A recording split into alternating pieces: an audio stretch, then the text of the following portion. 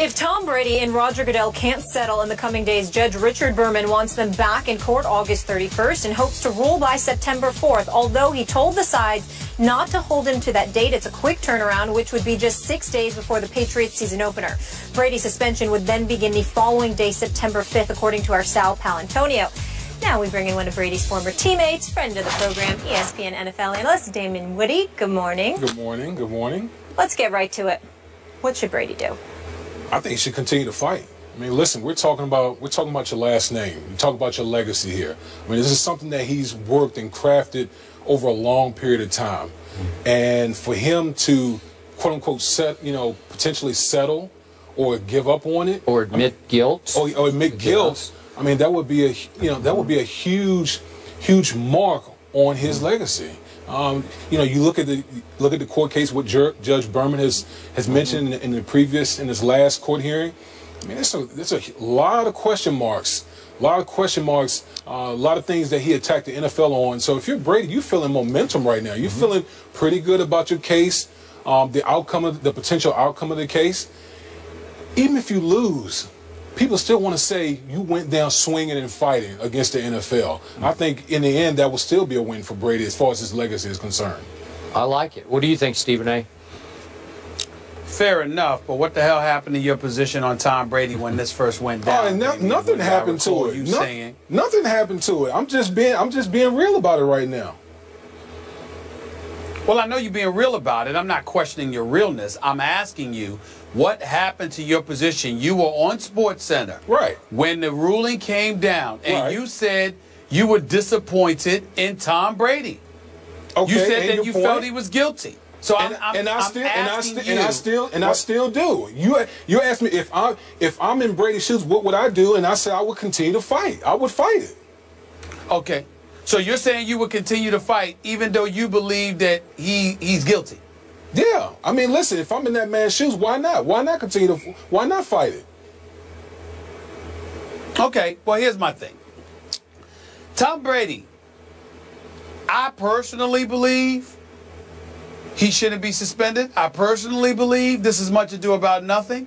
I can't believe it has lasted this long. All of those things are true.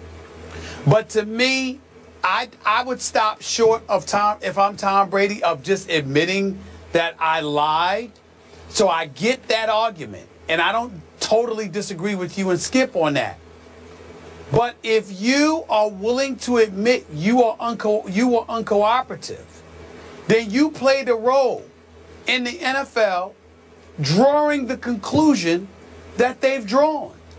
And if that's the case, what level of culpability do you deserve for that? That's where we all have to. I, I mean, I don't know how we get to a point where a settlement is reached. I personally don't understand for the life of me why the NFL is insisting that Tom Brady admits guilt in all of this. Listen, you want the brother suspended. As long as there's a suspension that takes place, I think it's absolutely foolish and petty for the NFL to insist that he admits guilt. But uh, uh, as lo- so long as he gets a suspension. Now, to me, if he gets the suspension and it's acknowledging that he was uncooperative, I think that should be enough, and I don't think it should be anything to fight about after that. Because if you're Tom Brady, you have to at some point acknowledge you brought all of this on yourself. At least be willing to admit, hey, if I had acted better and a bit more cooperative, it well, it may not have gotten to this point. At least be willing to to admit that. As long as he's willing to admit that, as far as I'm concerned, it should be over. But who knows? I mean, right now, it's just, I'm exhausted talking about it, to be quite honest with you. Mm. I'm disgusted with it. I just think it's petty. I think it's petty. Deflated footballs, eight months? Eight months because of deflated footballs? I mean, damn. It's ridiculous. But it is what it is. Okay, but Stephen A., you know and I know this has become so much bigger than deflated footballs. You know and I know this is about the power of the owners versus the players mm-hmm. because one player, the superstar quarterback of the New England Patriots, last year's Super Bowl MVP, is willing to fight this to the legal death to try to take down the commissioner and his integrity and credibility, to question those to the point that you take him down, and to your point, maybe open Pandora's box in court where you say, uh oh, the owners are now very vulnerable in court in ways they've never been before. That's what's, it's way beyond was the ball this much or this much. That, that's what's happening. But let me bring it back to. I'm- okay, go ahead. Sure. Go ahead. Okay. Go ahead. Go ahead. No, Back go to. Mr. Go. Woody. Okay, you stand by your position. You believe he had some guilt in this, Correct. even though we have no smoking gun. We have, as Judge Berman has concluded, no direct evidence. It seems like the whole process was very unfair to Tom Brady, and we have the, uh, as Judge Berman called it, the quantum leap from the Wells report to all of a sudden a four-game suspension for what exactly? Non-cooperation? It, it doesn't make sense to Judge Berman. At least he's picking away, picking hole, shooting holes in the NFL's case. Yet you stand by your position that you believe he was guilty. Why? because I think you know the the lack of cooperation. I think you know the the destruction of the cell. To me, I go off common sense. I just my antennas are up as far as that concerned. Why would you destroy your cell phone right when they right in the meat of the investigation when they're about to you know interview or need need certain information off of the cell phone? You kept your prior cell phone, but you destroyed the one that the that the Okay, league was looking but- at. but- that that. It's Okay. There's some I can't. That I, that's something I just can't get over right Okay, I get that. But in fairness to Tom Brady, you realize his agent told him before he was interrogated by the, the Wells people that your cell phone cannot come into play here via the NFLPA. You cannot, that they cannot invade your right to privacy. So that will never become an issue. So that's all that he knew at that point. And they already had all of his texts, because it takes two to text, from Jastremski, the equipment manager, who they, they had his cell phone. They had the other McNally's cell phone. So anything Brady had texted to, to either of those guys, they had in their possession, and there was no smoking gun. So But, but Skip, how, but how do you how do you what what sense can you make of the whole destruction of the cell phone? What what, what sense can you make of that? I think we were told that Don Yee told him. he, he told. I I, that's his what I just said. Yeah. I'm no, they, they said. You know, he told him before. "D- You, you don't have to worry about it. And then Brady said, I, I on, you know, just recurringly, I, I often destroy. I don't destroy it. I just change cell phones. But right, but I just find that the timetable so it, Suspicious? It, yeah, suspicious. Yeah. Right in the middle of the, in the, the investigation, all of a sudden you destroy it. To me, it's just I, get, I give a lot of pause to that right there. Okay. Have you heard anything internally from people you know around the Patriots who have suspicions of this? No, of what Tom knew or didn't know? No. Okay, okay, just checking for the record. Okay, so you're just going on your, your own instincts. You think he was more than generally aware of what was happening to the footballs?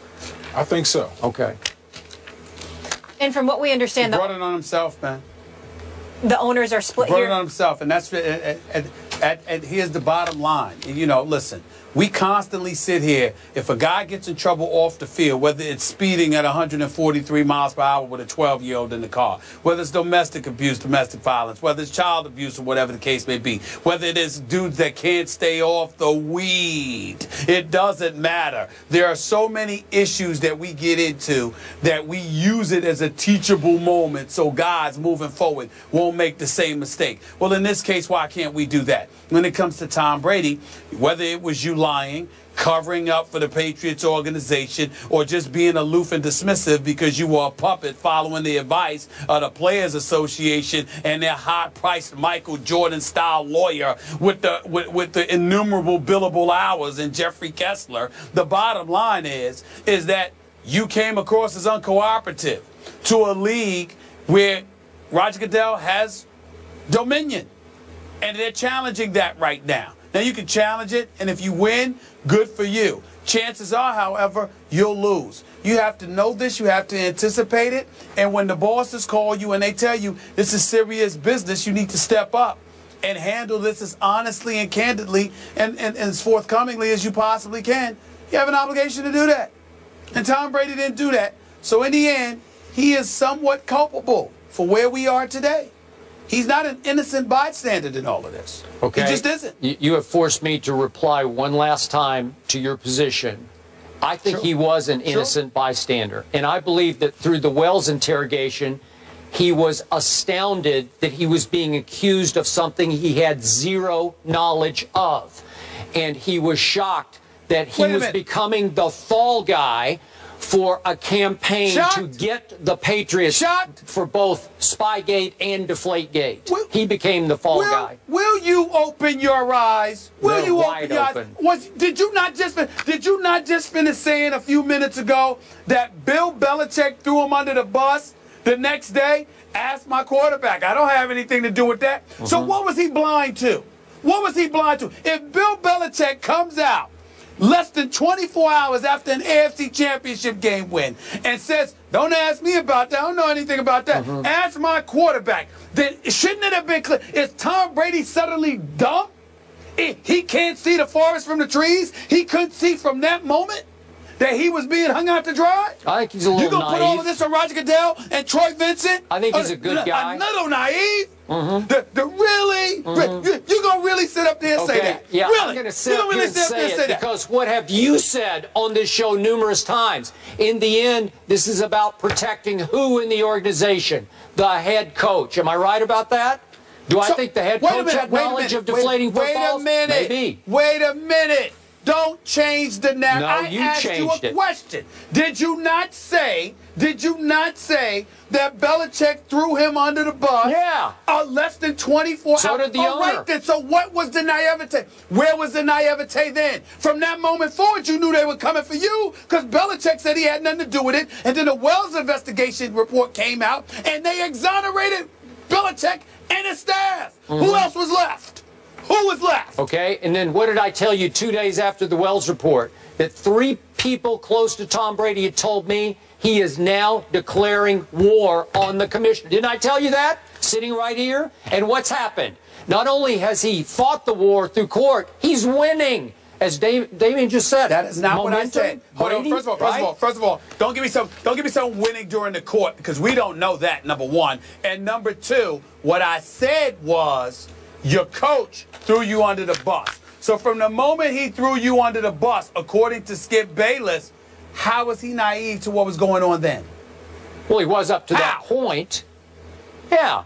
I mean, It he was 24. believe- It was less than 24 hours after the game. Yeah.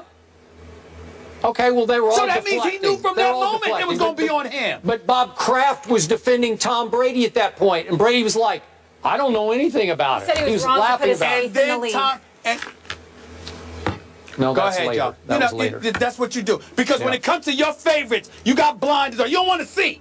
You want to see what he did. Oh no, he's innocent. He didn't know. Okay, this is what he's saying. Damien, Molly. Oh, Time Tom out. Brady didn't You- know. didn't I mean, me. Bill Belichick, no, he Here. didn't do anything. Ah, speaking of memory loss, you're the guy who just last week finally said, you know what? I don't think Tom Brady knew anything about this. You told me that on this show. I said that I don't hold it. I said that I don't believe that he had the footballs deflated. My point to you is that from the moment Bill Belichick threw him under the bus, it was clear that he was going to be a target. That's a different discussion. It was clear he was going to be a target. So how you going to sit up there and say he was naive to what was potentially transpiring once Bill Belichick acknowledges, I got nothing to do with this. You need to ask my quarterback. Well, he at that least- way it wasn't clear I- I told you that he that- was in the hot seat. no, he had his owner on his side, and then all of a sudden, his owner sold him out and took all the, the punishment, Guys, took guys, the penalties. sorry, but we have to go to break. Luckily, this is not over, and we have plenty more time to talk about it again. August 31st, that's when they need to settle by, and potentially Tom Brady's so September innocent. 5th would be Oh, the date uh, if Abe. The punishment uh, was instilled then. Damien, thanks so much for joining He joining didn't us. know. Oh, no problem. All right, we move on to another vet, but this time in the NBA. Which one of these vets were voted as the favorite by the NBA's new rookie class? You might find this list interesting. That's coming up next.